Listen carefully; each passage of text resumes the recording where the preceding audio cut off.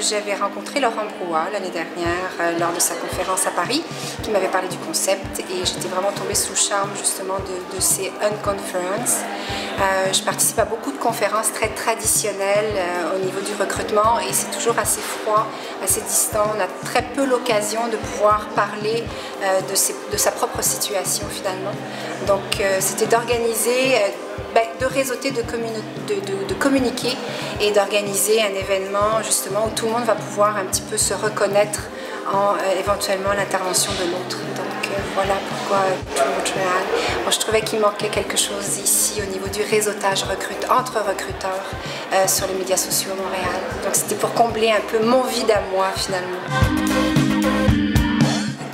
dire. On a, euh, je pense que les, gens le sourire, déjà c'est une première chose, donc euh, très content de voir le sourire sur, les gens. Je pense par contre que ce, dont on se rend compte, c'est qu'il y a une certaine disparité au niveau du niveau de connaissance des gens. Euh, donc on a des gens qui sont très très nouveaux sur les médias sociaux et on va avoir des gens qui sont assez, qui sont présents déjà depuis plusieurs, plusieurs années. Donc la communication quelquefois entre les deux est difficile, surtout au niveau du vocabulaire. J'ai senti qu'il y avait des gens qui étaient un peu largués ce matin là au niveau de, au niveau de certaines Donc ça sera peut-être quelque chose qu'il faudra retravailler.